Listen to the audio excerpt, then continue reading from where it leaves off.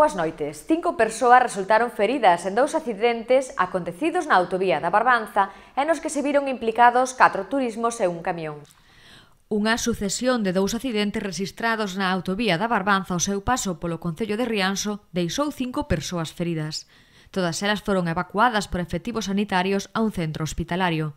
Os dous sinistros tiveron lugar no mesmo punto, no quilómetro 16 sentido padrón nun intervalo dun cuarto de hora. O primeiro accidente produciuse ás 9. Nese intro unha persoa particular informaba ao 112 dun choque entre un turismo e un camión que transportaba madeira. No accidente resultaron feridos un matrimonio e os dous fillos de 6 e 4 anos de idade. Minutos despois rexistrábase unha segunda colisión entre tres vehículos, a consecuencia do primeiro accidente.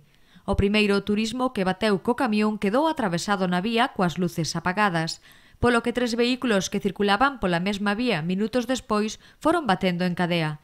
Neste segundo choque resultou ferido un veciño da Pobra de 63 anos. Ata o lugar do accidente trasladáronse os bombeiros de Boiro.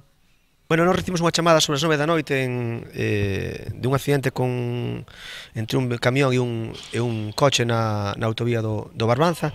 Estábamos, os bombeiros de Boa estaban desplazados ata Pequeraña nun incendio que había nunha, nunha nave, entón tivemos que vir desde, desde, desde Padrón.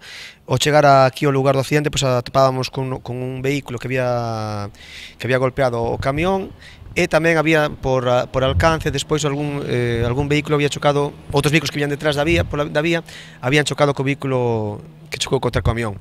Iso produxo que houbera eh, cinco persoas que foron trasladadas en, en ambulancia e en, en total foi un camión implicado máis catro, eh, catro vehículos.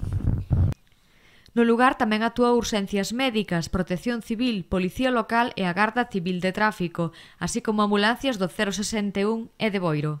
A consecuencia dos accidentes, a circulación na vía viuse condicionada durante dúas horas, quedando só un carril de circulación aberto.